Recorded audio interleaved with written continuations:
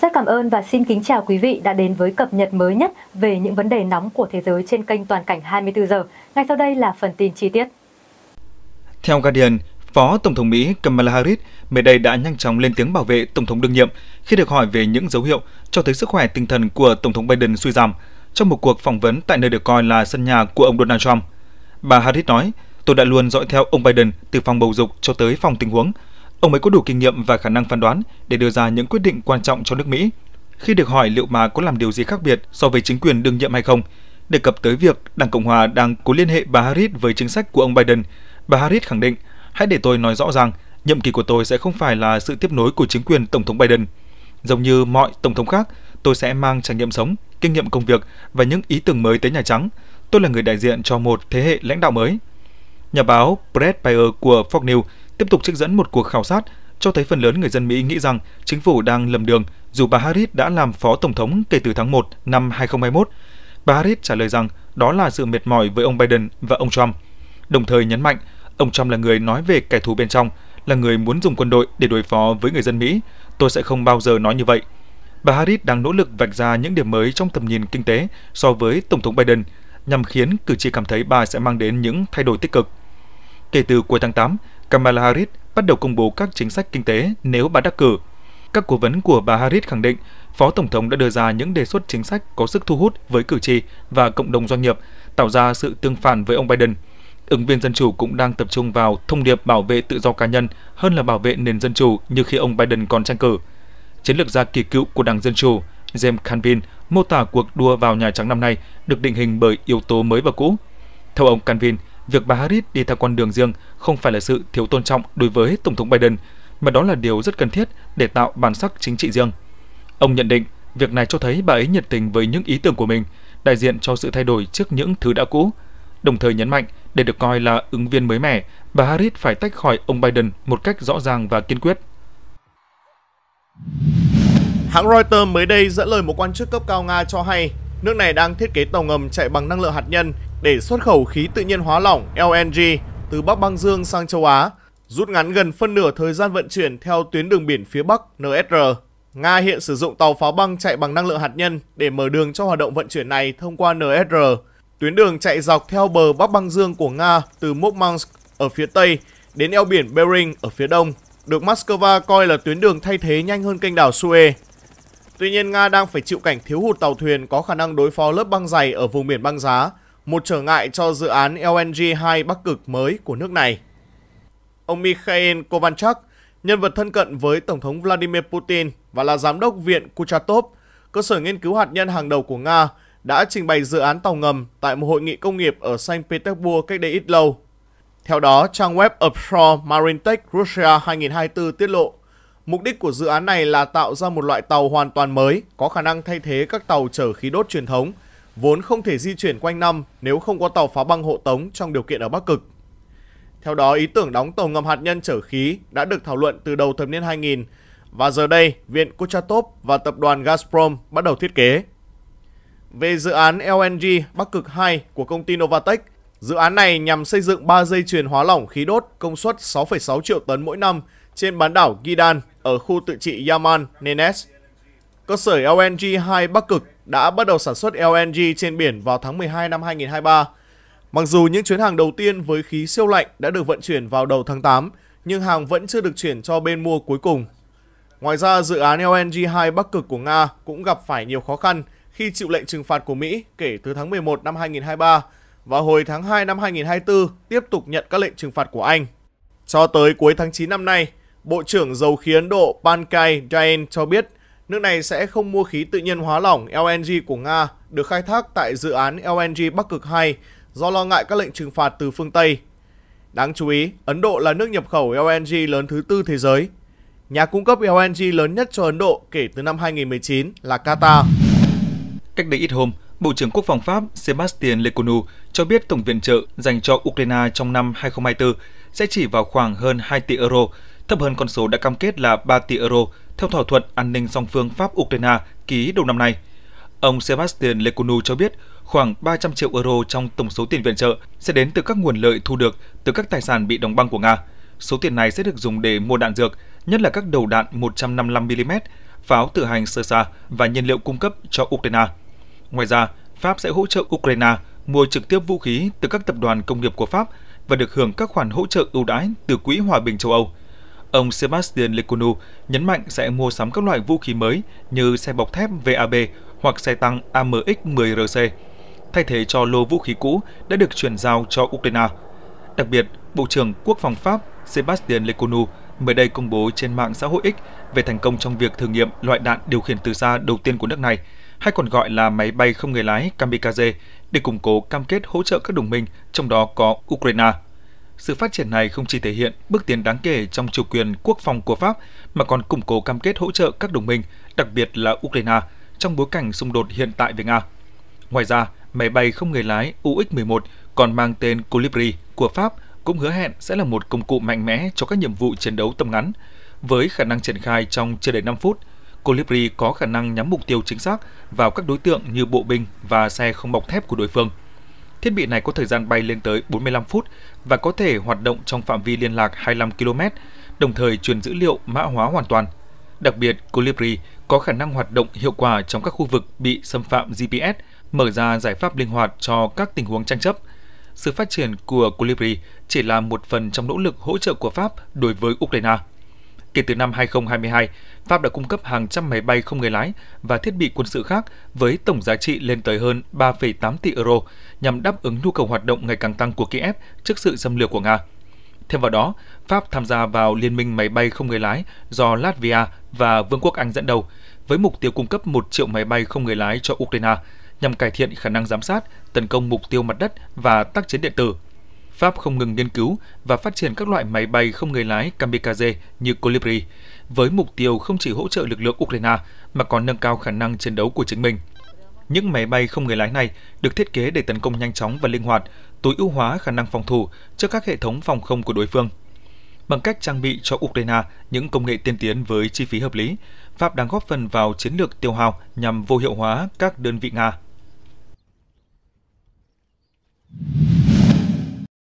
Tập đoàn Boeing vừa công bố thử nghiệm thành công hệ thống vũ khí laser công suất 5 kW, có thể bắn hạ UAV có trọng lượng lên đến 600 kg và bay ở tốc độ tối đa 460 km/h. Hệ thống này đã được quân đội Mỹ thử nghiệm ở Trung Đông, cho phép bắn hạ các UAV ở khoảng cách từ 200m đến 2,5 km. Thực tế, từ năm 2022, Mỹ cũng đã triển khai xe chiến đấu được trang bị bệ phóng laser dạng p có công suất 20 kW Thời gian qua, loại vũ khí này đã tham gia bắn hạ thành công nhiều UAV ở khu vực Trung Đông. Đặc biệt, phí tổn của loại vũ khí này rất thấp, chỉ khoảng 10 đô la Mỹ, khoảng 260.000 đồng cho mỗi lần bắn. Dự kiến một số loại vũ khí laser sắp tới của Mỹ có chi phí bắn được giảm chỉ còn khoảng 3 đô la Mỹ một lần, chưa đến 80.000 đồng. Bên cạnh lợi ích lớn nhất là chi phí thấp, công nghệ laser còn có lợi thế về băng đạn không giới hạn, miễn là có nguồn điện ổn định. Trong giao chiến, khi chiếu chùm tia laser tập trung, các UAV có thể bị đốt cháy cấu trúc, làm tan chảy một số bộ phận, từ đó bị vô hiệu hóa. Ngoài ra, các cảm biến quang học trên UAV, drone thường được sử dụng để nhận tín hiệu điều hướng từ người điều khiển từ xa, cũng dễ dàng trở thành mục tiêu của hệ thống laser này. Hiện nay, Mỹ đã phát triển nhiều chủng loại vũ khí laser khác nhau. Không chỉ có chi phí hoạt động thấp, các hệ thống này còn dễ dàng tích hợp trên các xe chiến đấu, thậm chí cả các xe bộ binh cỡ nhỏ, nên có tính linh hoạt rất cao và dễ dàng triển khai nhiều nơi. Vũ khí laser có khả năng tự động cao, dễ dàng điều khiển tác chiến, thậm chí có loại chỉ cần điều khiển bằng tay chơi game Xbox. Nhờ đó, việc đưa vào thực chiến khá nhanh chóng mà không mất quá nhiều thời gian huấn luyện như nhiều loại vũ khí khác. Giờ đây, Mỹ đã điều động vũ khí laser đến khu vực Đông Á giữa mối lo UAV ngày càng tăng. Bên cạnh Mỹ, Anh cũng đã triển khai hệ thống vũ khí laser mang tên Dragonfire có chi phí mỗi lần bắn khoảng 13 đô la Mỹ, khoảng 335.000 đồng. Đặc biệt, Dragonfly được cho là đủ sức bắn vật thể có kích thước chỉ bằng đồng xu ở khoảng cách 1 km. Israel vừa hứng chịu tổn thất nặng nề với 4 binh sĩ thiệt mạng, 7 người bị thương rất nặng và hàng chục người khác bị thương với mức độ nhẹ hơn. Đây là hậu quả từ đòn tấn công do UAV của Hezbollah ở Liban thực hiện nhằm vào căn cứ quân sự gần Bini Amina UAV Hezbollah và cả Houthi ở Yemen trong những tháng gần đây cũng nhiều lần qua mặt lưới phòng không đa tầng của Israel. Khi các cuộc tấn công bằng UAV ngày càng trở nên nguy hiểm hơn, câu hỏi đặt ra là người ta đã biết gì về các loại UAV mà Hezbollah và các đối thủ khác của Tel Aviv đã sử dụng để tập kích Israel. Theo ước tính, Hezbollah sở hữu hơn 2.000 UAV các loại. Họ cũng tiếp tục mua và chế tạo chúng. Đầu tiên phải kể tới là UAV cảm tử. Hezbollah đã thực hiện hàng trăm cuộc tấn công bằng UAV vào Israel kể từ tháng 10 năm 2023. Hầu hết các cuộc tấn công này liên quan đến UAV cảm tử. Về cơ bản, nó bao gồm phần thân dài giống như ống, đầu đạn ở phía trước với một cánh quạt ở phía sau. Máy bay không người lái của Hezbollah dường như có tầm hoạt động có thể vươn tới Tel Aviv. UAV trinh sát Hezbollah đã triển khai nhiều loại UAV khác nhau để tiến hành giám sát, có khả năng quay video và thu thập thông tin tình báo. Họ đã sử dụng UAV này để bay qua các căn cứ của lực lượng phòng vệ Israel IDF ở Galilee hay Golan và Hezbollah đã hai lần công bố cảnh quay được từ UAV giám sát của mình. Mirsat 1 và Mirsat 2 Mirsat dựa trên các loại UAV của Iran có tên là Ababin và Mohajer. Hezbollah đã mua các loại UAV này cách đây nhiều thập kỷ và sau đó tinh chỉnh chúng để sử dụng cho mục đích riêng của họ. Các bức ảnh về Mirsat thường cho thấy nó có thân dài như ống, cánh dài hơn ở phía sau và cánh ngắn hơn ở phía trước. Tùy thuộc biến thể, miệt sát có thể mang đầu đạn nặng tới 40 kg và có tầm hoạt động khoảng 120 kg cũng như tốc độ bay lên tới 370 km một giờ. sát 2 dựa trên mẫu Mohajer 4 có cánh dài nằm giữa thân và hai cánh đuôi đứng nối với nhau bằng tầng cánh phụ. UAV Mohajer 4 được lắp hai camera, một chiếc hướng về phía trước để quan sát đường bay và một chiếc khác làm nhiệm vụ trinh sát, giám sát. Một số bên cho rằng Mohajer 4 có thể được trang bị camera hồng ngoại. Mirsat 1 dựa trên mẫu Ababin T có cánh ngắn gần đầu máy bay và cánh dài ở phía đuôi. Ababin T là biến thể xuất khẩu của dòng Ababin, vốn được Iran thay đổi thiết kế nhiều lần trong quá trình hiện đại hóa. Các loại UAV khác của Hezbollah Hezbollah cũng có thể đã sử dụng các loại UAV khác của Iran, chẳng hạn như Ababin T có tầm bay, tốc độ và tải trọng tương tự Mirsat. Trung tâm Nghiên cứu và Giáo dục Alma cho biết UAV Mirsat 1 Ababin T là vũ khí chính trong kho của Hezbollah. Trung tâm Alma nhận định Hezbollah rất có thể đã sở hữu các mẫu UAV tiên tiến thuộc dòng Mohajer, Shahed, Samet, KAS-04, Kara và Sage. Shahed 136 là biến thể UAV nổi tiếng nhất thuộc dòng Shahed của Iran, được nhiều bên nhận định có hình dáng tương đồng mẫu Geran 2 của Nga. Shahed 136 nặng khoảng 200 kg, tầm hoạt động trên 2.000 km, có thể mang đầu đạn nặng tới 50 kg. UAV Shahed 136 có cánh tam giác, động cơ đặt phía sau đuôi, có thể cất gọn trong ống phóng. Thiết kế tương đối đơn giản và dễ vận chuyển khiến Shahed 136 trở thành UAV lý tưởng cho các nhóm vũ trang như Hezbollah. Hezbollah còn sở hữu UAV Shahed 129 có tầm bay 2.000 km mà Iran phát triển dựa trên mẫu Hermes 450 của Israel. Các biến thể Shahed 129 đời sau có bộ ổn định hình chữ V, hình dạng giống mẫu MQ-1 của Mỹ hoặc những loại UAV tương tự. Kara là loại UAV mà Iran phát triển dựa trên mẫu MQM-107 Striker sử dụng động cơ phản lực của Mỹ. Kara có khả năng tấn công cảm tử, thả bom và thậm chí phóng tên lửa không đối không. Theo hãng tin AFP, vừa qua, Ngoại trưởng Iran Abbas Arachi điện đàm với Tổng thư ký Liên Hợp Quốc Antonio Guterres về vấn đề xung đột Trung Đông. Ông Arachi cảnh báo trong cuộc điện đàm, dù đang nỗ lực hết sức bảo vệ hòa bình và an ninh khu vực, Iran vẫn hoàn toàn sẵn sàng đáp trả quyết đoán và sẽ khiến Israel phải hối tiếc cho bất kỳ cuộc phiêu lưu nào.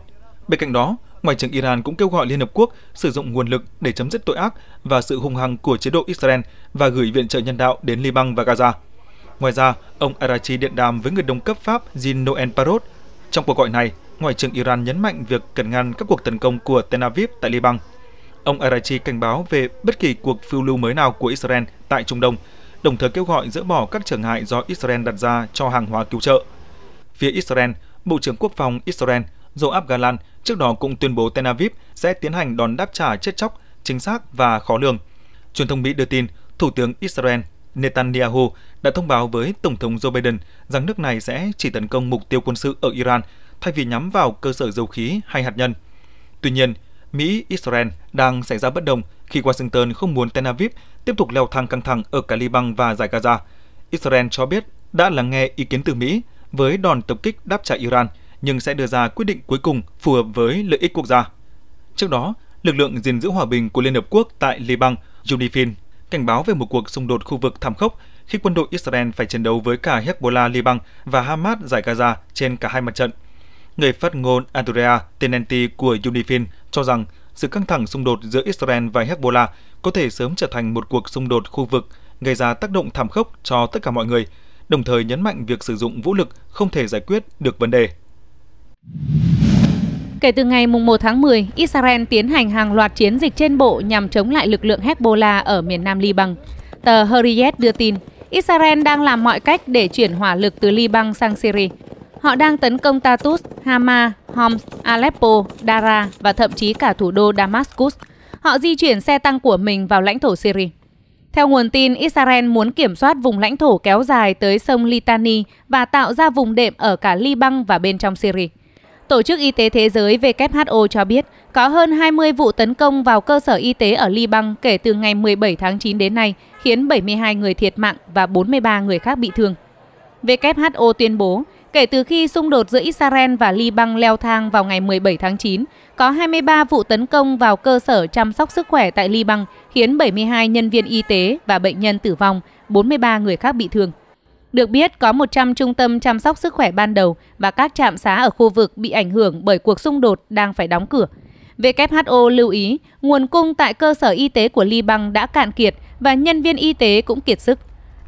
Trong khi đó, Bộ trưởng Quốc phòng Mỹ Lloyd Austin và Ngoại trưởng Antony Blinken gửi thư cho Bộ trưởng Quốc phòng Israel Yoav Gallant và Bộ trưởng Bộ Chiến lược Rom Demer cảnh báo cắt nguồn cung viện trợ cho Gaza và cho Israel 30 ngày để thực hiện biện pháp cụ thể nhằm cải thiện tình hình. Ông Blinken và ông Austin viết, việc không chứng minh được cam kết bền vững về thực hiện và duy trì biện pháp này có thể ảnh hưởng đến chính sách của Mỹ theo bản ghi nhớ NSM-20 và luật pháp Mỹ có liên quan.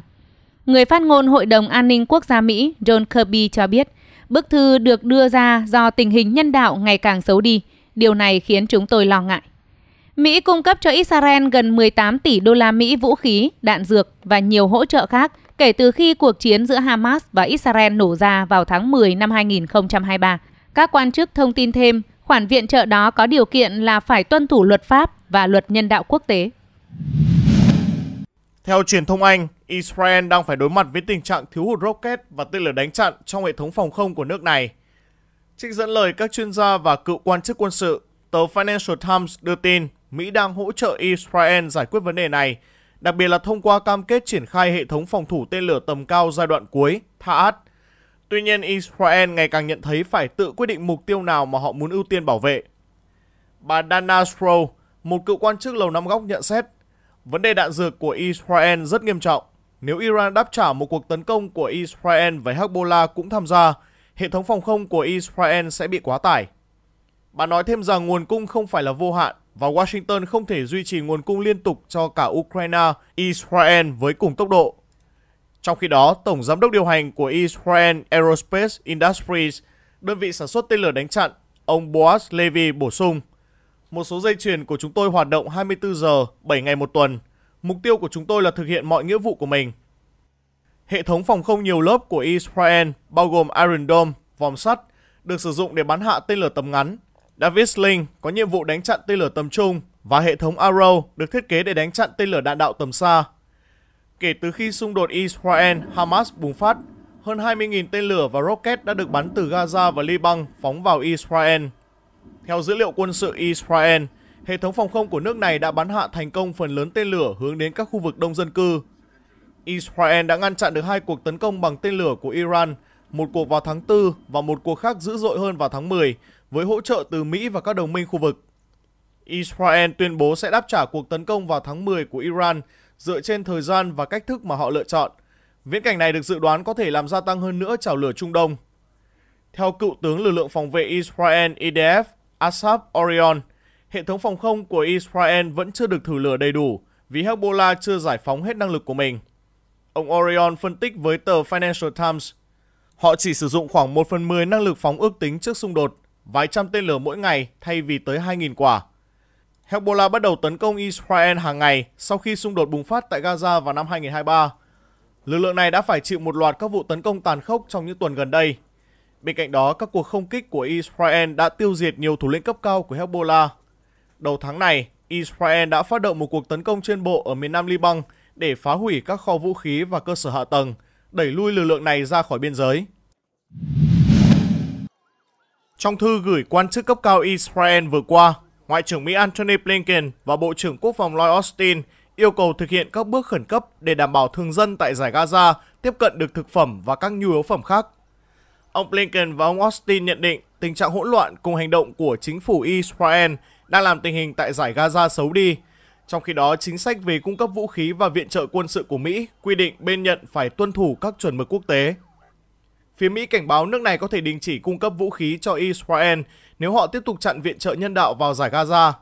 Liên Hợp Quốc gần đây cho biết hàng viện trợ đã không thể đến được vùng đất này trong 2 tuần. Hai bộ trưởng Mỹ yêu cầu Israel để 350 xe tải chở hàng viện trợ vào giải Gaza mỗi ngày từ 4 cửa khẩu, mở cửa khẩu thứ 5, thực hiện tạm ngừng bắn nhân đạo để phân phối viện trợ ít nhất trong 4 tháng tới, cho phép người Palestine ở dọc bờ biển Mawasi đi khỏi vùng ven biển trước mùa đông, chấm dứt cô lập miền Bắc giải Gaza, tuyên bố không bắt buộc sơ tán người miền Bắc xuống miền Nam vùng lãnh thổ cùng một số yêu cầu khác. Người phát ngôn Bộ Ngoại giao Mỹ Matthew Miller nói rằng bức thư đã làm rõ lo ngại của Mỹ về mức độ viện trợ nhân đạo đến Gaza. Ông cho hay một bức thư tương tự đã được gửi vào tháng 4. Nguồn viện trợ đến Gaza cải thiện được một thời gian, nhưng sau đó đã giảm hơn 50% và mức viện trợ trong tháng 9 là thấp nhất so với bất kỳ tháng nào khác trong vòng một năm. Theo trang Axios, Israel đã đóng các cửa khẩu vào giải Gaza trong tháng 10, chặn đứng nguồn cung cấp thực phẩm và hàng hóa thiết yếu cho 400.000 người Palestine trước khi một số xe tải được phép đi vào trở lại vào giữa tháng 10. Hiện tại, Mỹ vẫn tích cực hỗ trợ quân sự cho Israel, bao gồm triển khai lá chắn tên lửa THAAD và binh sĩ vận hành đến nước này. Tuy nhiên, các quan chức Mỹ nhấn mạnh họ phải liên tục đánh giá mức độ Israel tuân thủ cam kết để quyết định các hỗ trợ trong tương lai. Israel có 30 ngày để đáp ứng các yêu cầu nêu trong lá thư của hai bộ trưởng. Giới chức Israel chưa bình luận về thông tin này. Một quan chức Israel nói rằng nước này đã nhận thư và đang đánh giá tình hình. Vị quan chức cho biết Israel nghiêm túc xem xét vấn đề này và có ý định giải quyết lo ngại được nêu ra trong thư với các đối tác Mỹ. Mỹ gần đây đã áp đặt các biện pháp trừng phạt kinh tế lên nhóm Hilltop Youth, một nhóm người định cư Israel bị cáo buộc tấn công người Palestine tại bờ Tây, động thái được xem là chưa từng có trong lịch sử. Đây là bước đi mới nhất trong loạt biện pháp mà chính quyền Tổng thống Joe Biden đã áp dụng nhằm trừng phạt các phần tử cực đoan Israel trong năm qua, trong bối cảnh Israel chiến đấu với Hamas ở Gaza và bờ Tây chìm sâu vào bạo lực. Những lệnh trừng phạt bao gồm việc đóng băng tài sản của các cá nhân bị cáo buộc có liên quan đến bạo lực nhằm thể hiện tính công bằng của Mỹ trong cuộc xung đột Israel-Palestine cũng như cam kết về giải pháp hai nhà nước. Ông Khaled Engindi, một chuyên gia tại Viện Trung Đông, cảnh báo rằng bờ Tây là phần còn lại duy nhất của nhà nước Palestine chưa bị phá hủy hoàn toàn. Nếu khu vực này sụp đổ dưới sức ép của các khu định cư Israel, giấc mơ về một nhà nước Palestine sẽ tan biến, kéo dài xung đột và làm suy yếu khả năng đạt được hòa bình lâu dài ở Trung Đông. Sau cuộc tấn công của Hamas ngày 7 tháng 10 năm 2023, Israel đã siết chặt phong tỏa bờ Tây, thiết lập thêm nhiều trạm kiểm soát và đình chỉ giấy phép lao động của hàng chục nghìn người Palestine. Hơn 700 người Palestine đã thiệt mạng ở bờ Tây và Đông Jerusalem kể từ đầu cuộc chiến. Những người định cư Israel cực đoan đã gia tăng các cuộc tấn công vào các ngôi làng Palestine, gây ra nhiều thương vong và thiệt hại. Chính phủ Israel cũng đã công bố kế hoạch mở rộng các khu định cư ở bờ Tây và tịch thu thêm đất. Trong khi đó, một số bộ trưởng Israel kêu gọi trừng phạt kinh tế chính quyền Palestine PA, cơ quan quản lý một phần bờ Tây, đồng thời đe dọa sẽ cấm các ngân hàng Israel giao dịch với ngân hàng Palestine để nền kinh tế bờ Tây đến bờ vực sụp đổ. Người Palestine xem bờ Tây và Gaza là hai phần không thể tách rời của một nhà nước tương lai, nhưng Gaza giờ đây chỉ còn là đống đổ nát và việc Israel chiếm đóng sâu hơn ở bờ Tây đang tạo ra thách thức nghiêm trọng. Nhiều xu hướng tại bờ Tây như bạo lực của người định cư Israel và sự mở rộng các khu định cư đã kéo dài từ trước ngày 7 tháng 10 năm 2023. Dưới nhiệm kỳ của cựu Tổng thống Mỹ Donald Trump, Israel đã gia tăng quyền hành động tại bờ Tây, trong khi viện trợ của Mỹ cho Palestine bị cắt đứt. Các biện pháp mạnh mẽ hơn có thể đã ngăn chặn được sự gia tăng của các phần tử cực đoan và mang lại hy vọng về một nhà nước Palestine, nhưng hành động này đã bị trì hoãn, khiến tình hình thêm căng thẳng. Vừa qua, tờ Times of Israel dẫn tuyên bố lúc nửa đêm của văn phòng Thủ tướng Israel cho biết chúng tôi lắng nghe suy nghĩ của chính phủ Mỹ nhưng sẽ đưa ra quyết định cuối cùng dựa trên nhu cầu an ninh quốc gia của Israel. Theo đó, văn phòng Thủ tướng Benjamin Netanyahu khẳng định kế hoạch đáp trả Iran sau vụ tấn công bằng tên lửa đạn đạo ngày 1 tháng 10 sẽ được đưa ra dựa trên lợi ích của Israel. Tuyên bố này đáp lại bài báo của tờ Washington Post ngay trước đó ít lâu. Cụ thể, Washington Post dẫn nguồn tin quan chức hé lộ Trong cuộc điện đàm với Tổng thống Mỹ Joe Biden hồi tuần trước, Thủ tướng Israel Benjamin Netanyahu cho biết ông đang có kế hoạch nhắm vào cơ sở hạ tầng quân sự ở Iran. Theo Washington Post nhận định, điều này có nghĩa là Israel có thể sẽ thực hiện một cuộc phản công hạn chế hơn nhằm ngăn chặn một cuộc xung đột toàn diện với việc không nhằm vào các cơ sở hạt nhân hay dầu mỏ của Iran. Tuy nhiên, với phát biểu mới nhất của ông Netanyahu, không thể loại bỏ trường hợp xấu nhất khi Israel tấn công đáp trả Iran bất chấp việc Tổng thống Mỹ Joe Biden đã nhấn mạnh ông sẽ không ủng hộ một cuộc tấn công vào các địa điểm hạt nhân của Tehran. Trong khi đó, thị trường dầu mỏ đang căng thẳng trước viễn cảnh Israel tấn công các mỏ dầu của Iran sẽ làm giá dầu tăng vọt. Nhà phân tích độc lập Stephen Ines cảnh báo rằng việc tấn công vào ngành dầu mỏ sống còn của Iran có thể gây hậu quả kinh tế sâu rộng. Nhìn nhận vấn đề một cách cụ thể hơn, ông Björk Skiendrup, chuyên gia phân tích hàng hóa tại ngân hàng SEB Thụy Điển, dự đoán nếu Israel quyết định tấn công vào các cơ sở dầu mỏ của Iran, giá dầu có thể dễ dàng vượt ngưỡng 200 đô la Mỹ một thùng. Thời gian qua, các quốc gia vùng vịnh đã chạy đua vận động hành lang để Washington ngăn chặn Israel tấn công các địa điểm dầu mỏ của Iran vì lo ngại các cơ sở dầu mỏ của những nước này có thể bị các lực lượng ủy nhiệm của Tehran tấn công nếu xung đột diễn biến phức tạp hơn. Trong khi đó, một cuộc tấn công vào chương trình nghiên cứu hạt nhân Iran có thể xóa bỏ mọi làn danh đỏ còn lại trong xung đột Israel-Iran, gây phức tạp tình hình hơn nữa và có thể lôi kéo Mỹ can dự với vai trò quân sự trực tiếp hơn. Washington hiện vẫn đóng vai trò quan trọng trong việc đảm bảo an ninh cho Israel. Việc triển khai thêm hệ thống phòng thủ tên lửa cho Israel là dấu hiệu cho thấy Mỹ vẫn sẵn sàng hỗ trợ đồng minh trong trường hợp cần thiết. Theo giới quan sát nhận định, trong trường hợp cuộc xung đột ở Trung Đông diễn biến phức tạp hơn, thế giới có thể sẽ chứng kiến một cuộc không chiến độc đáo, trong đó tiêm kích Su-35 của Iran sẽ đối đầu với F-15, 16 và đặc biệt là F-35 của Israel và Mỹ. Nếu viễn cảnh trên xảy ra, đây sẽ là lần đầu tiên trong lịch sử những chiếc tiêm kích hiện đại này va chạm với nhau trong một trận không chiến thực sự. Bên nào giành được chiến thắng là câu hỏi mà rất nhiều chuyên gia quân sự cũng chưa thể đưa ra câu trả lời chính xác. Su-35, một biến thể nâng cấp của Su-27 Flanker, dù chỉ thuộc thế hệ 4 cộng cộng, nhưng nó được trang bị nhiều công nghệ của máy bay thế hệ thứ 5 nhờ hệ thống điện tử, động cơ mới và khung thân cải tiến. Su-35 gần như là một máy bay hoàn toàn mới. Nó có khả năng bay siêu thanh với tốc độ tối đa Mach 2.25 ở độ cao lớn, vượt trội hơn so với F-35 chỉ đạt tốc độ Mach 1.6. Điều này giúp Su-35 có ưu thế trong không chiến khi có nhiều cơ hội phóng tên lửa hơn.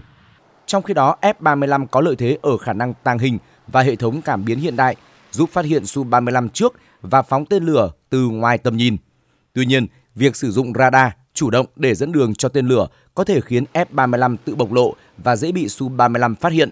Trong không chiến quần vòng, Su-35 với khả năng cơ động cao và hệ thống đối kháng điện tử mạnh mẽ chiếm ưu thế hoàn toàn. Mặc dù về kỹ thuật, Su-35 có lợi thế trong không chiến, nhưng hiệu quả thực tế của vũ khí còn phụ thuộc vào chiến thuật, trình độ phi công và sự phối hợp giữa các đơn vị tác chiến. Khi F-35 phối hợp với các đơn vị đồng minh, tình thế có thể thay đổi đáng kể. Quay trở lại với cuộc đối đầu trên lý thuyết giữa Su-35 của Iran và F-35 của Israel, cần nhấn mạnh rằng cách đây một thời gian, có thông tin cho biết Iran đã nhận được từ Nga một số tiêm kích Su-35S có khả năng cơ động cao, vũ khí mạnh mẽ và hệ thống tác chiến điện tử tiên tiến. Tuy nhiên, mức độ sẵn sàng của không quân Iran trong việc khai thác tiêm kích Su-35 cũng là câu hỏi gây nhiều nghi ngại, bất chấp có thông tin 40 phi công của Tehran đã sang Nga học lái Su-35 từ lâu. Dẫu vậy, quãng thời gian huấn luyện làm chủ phương tiện chiến đấu vẫn là quá ngắn ngủi, khó lòng giúp phi công Iran đủ năng lực đối đầu song phẳng với những thợ lái cực kỳ lão luyện của Israel trên những tiêm kích tàng hình hàng đầu thế giới. Dù vậy, viễn cảnh đối đầu giữa tiêm kích do Mỹ và Nga sản xuất trên bầu trời Iran có lẽ cũng khó có khả năng trở thành hiện thực, căn cứ vào hình thức tác chiến mà Israel sẽ tiến hành nếu họ dự định tấn công trả đũa Iran. Theo đó, trong các cuộc không kích mục tiêu của Iran trên lãnh thổ Syria, không quân Israel thường bắn tên lửa tấn công tầm xa, hạn chế đi vào vùng hoạt động của hệ thống phòng không hay tiêm kích đánh chặn đối phương. Cách thức này nhiều khả năng sẽ được lặp lại.